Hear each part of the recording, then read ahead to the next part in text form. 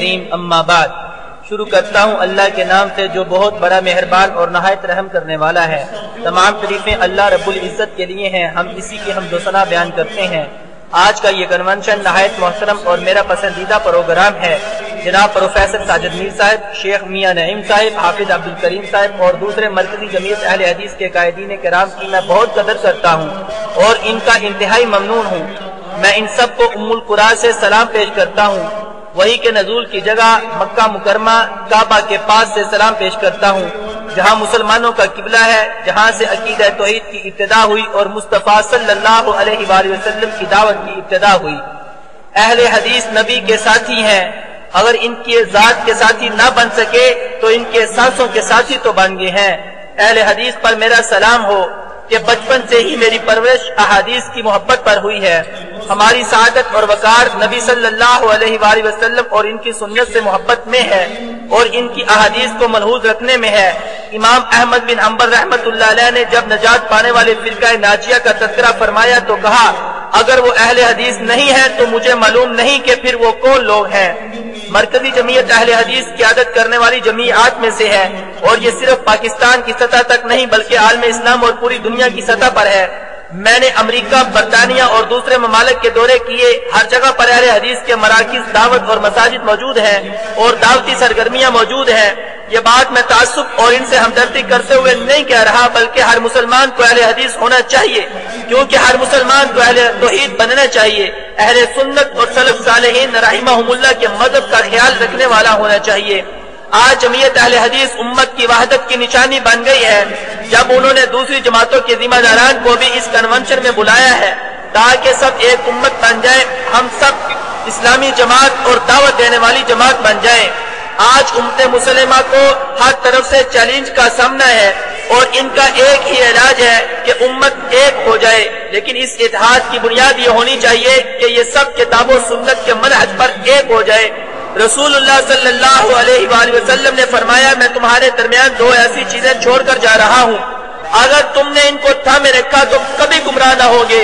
वो है अल्लाह की किताब और मेरी सुन्नत। और जब अलैहि वसल्लम ने उम्मत में फिरका बंदी की बात की और ये फरमाया कि सारे फिरके जहन्नम में जाएँगे, सिर्फ़ एक जन्नत में जाएगा तो इनकी बाबत फरमाया कि ये वो ग्रोह होगा जिसका अकीदा ये होगा जिस पर मैं हूँ और मेरे सहाबा के राम है।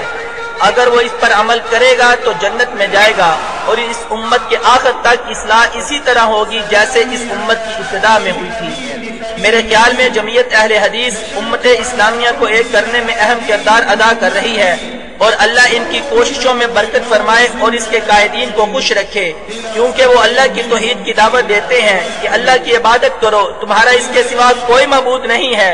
इनकी इज़्ज़त और शरफ और फखर के लिए यही काफ़ी है कि वो इतबा सुन्नत की इस दौर में दावत दे रहे हैं। जब रास्ते मुतद हो चुके हैं, जबकि अल्लाह का फरमान ये है, और बेशक ये मेरा सीधा रास्ता है, इसी पर चलो और दूसरे रास्तों पर मत चलना, वो तुम्हें तार तार कर देंगे। ये तुम्हें अल्लाह की वसीयत है, ताकि तुम मुत्तकी बन जाओ। ये लोग सलफ साल के तरीके की दावत देते हैं, जबकि बिदात और शरीयत की मुखालफत आम हो चुकी है। हर बंदा अपनी राय को बेहतर समझता है। इन हालात में मैं अहले हदीस के लिए ये बात बायस शरफ भी है, और इसके साथ बहुत बड़ी ज़िम्मेदारी भी है। असल बात यह है कि हदीस, सुन्नत और सलफ का मनहज किसी एक फर्द या जमात की नहीं, सबकी ज़िम्मेदारी है। हम तमाम मुसलमानों को इनके मसालत समेत दावत देते हैं कि वो हक पर इकट्ठे हो जाएँ, ताकि हम सब एक उम्मत बन जाएँ। अल्लाह ताला ने फरमाया है, और बेशक ये तुम्हारी उम्मत है, जो एक ही उम्मत है, और मैं तुम्हारा रब हूँ, सो मुझसे डरो। मोमन तो भाई हैं, बस अपने दो भाइयों के दरमियान सुलह कराओ, और अल्लाह से डरो, ताकि तुम पर रहम किया जाए। और मोमन मर्द और मोमन औरतें इनके पास, बास के दोस्त हैं। इसकी तरफ़ रजू करते हुए और इससे डरो और नमाज़ कायम करो और शिरक करने वालों से ना हो जाओ।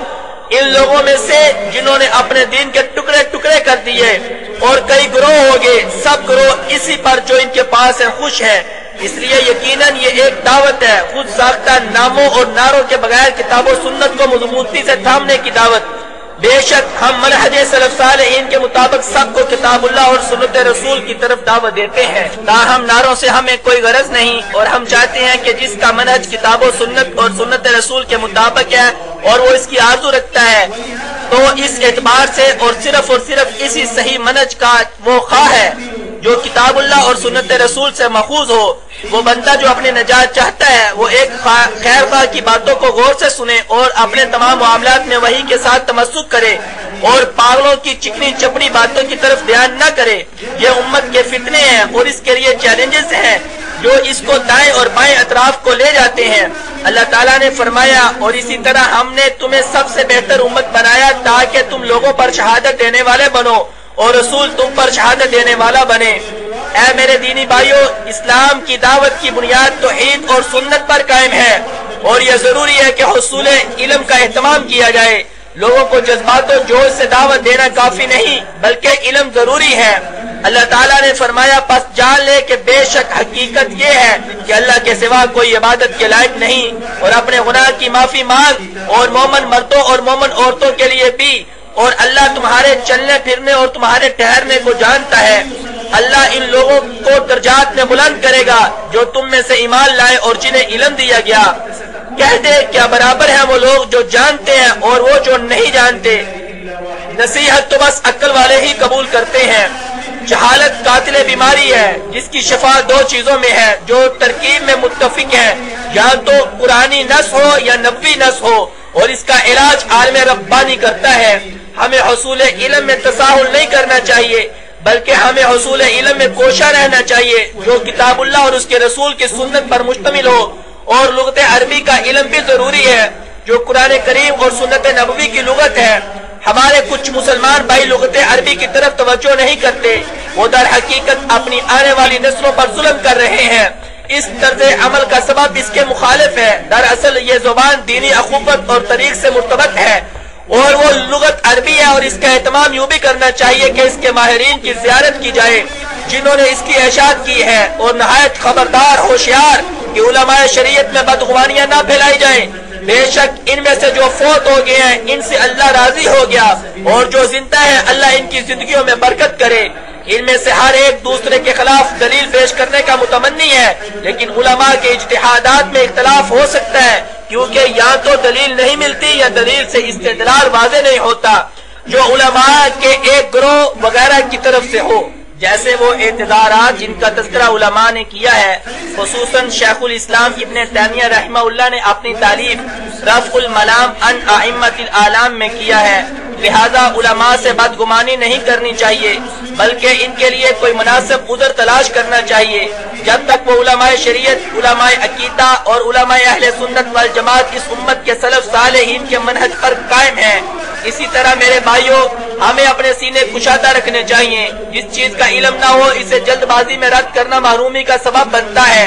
हमारे पास भाई अपने दीगर भाइयों के मुतालिक बदगुमानी करने में जल्दबाजी करते हैं और इनकी इज़्ज़त आरबू में बदगुमानी करते हैं, जो अमाल मुस्तहबात की वजह से और सुनतों के मामला की वजह से या शरीयत के फरूई मसाइल की वजह से होती है।